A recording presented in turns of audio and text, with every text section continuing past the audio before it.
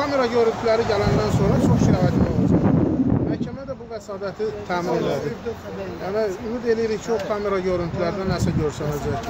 Ən azından yol polis əməkdaşlarının dediyinə görə Bəxtiyar Hacıyev nə qədər bunları nalayiq ağır sürüşlə təhqir eləsə də, bunlar təmkinli olaraq heç bir reaksiya vermirdilər. Və belə Sizi iltizamla buraxdılar yoxsa?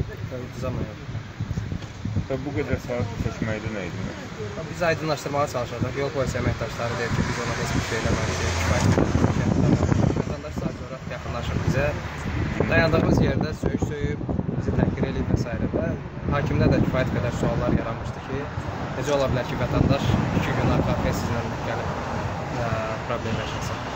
Və ə, sadəcə bütün iş materialları iki ə, polis əməkdaşının ifadələri əsasına qurulduğuna görə bizə vəsatət verdi ki, orada təhlükəsizlik kameraları var.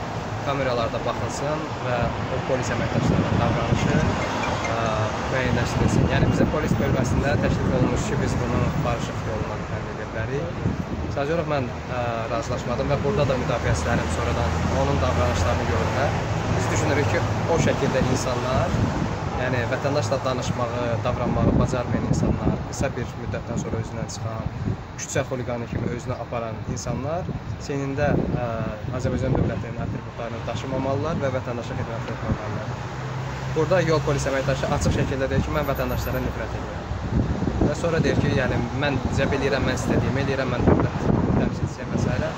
və kifayət qədər yuxarı tonda, kifayət qədər aqressiv tonda danışır və belə insanın ə, polis orqanlarında yol polisi əməkdaşı kimi vətəndaşlarla gündəlik ünsiyyətdə olması normal deyil və buna görə də mən ə, işin məhkəməyə gəlməsində maraqlı oldum və ə, bu iş yəqin ki davam edəcək. Əgər mənim hansısa günahım varsa, mən bunun cəzasını çəkməyə hazıram, amma yoxdursa, həmin əməkdaş ümumiyyətlə xaric olmalıdır. Yəni Sabah onu saat 12-də. sabah saat 16:00-da.